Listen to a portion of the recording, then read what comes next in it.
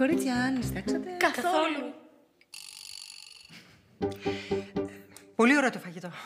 Ευχαριστώ. Εγώ πάλι δεν το έχω καθόλου με τη μαγειρική. Ούτε και με το μεγάλωμα των παιδιών. Πότε ξαναβρεθήκατε με τον Κωστή από τότε που τον παράτησε στον παππού και στη γιαγιά στα 17 του, νομίζω; Θυμάμαι καλά. Ε, εμφανίστηκε ξαφνικά την ημέρα των γενεθλίων μου. Αξέχαστη ημέρα. Ε, μαμά. Ναι, μωρό. Μου έλειπες κάθε μέρα.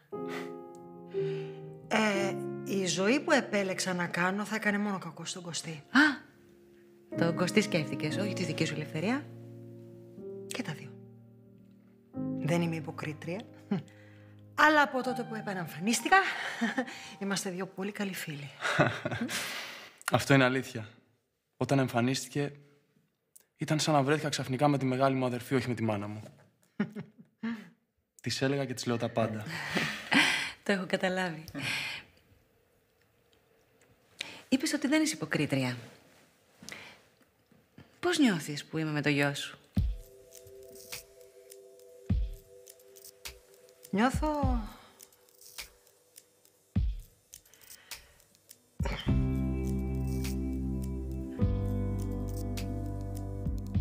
Αν αυτός είναι ευτυχισμένος... Εγώ χαίρομαι. Μαμά, είμαι πολύ ευτυχισμένος.